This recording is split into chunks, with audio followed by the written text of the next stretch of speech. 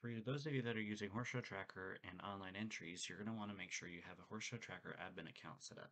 First, you can start by setting up an account on the Horse Show Tracker and then email us at support at funnware.com and we'll make sure you get access to your shows. To log in, you're going to go to horseshowtracker.com slash admin and you'll be able to select your show from the list provided.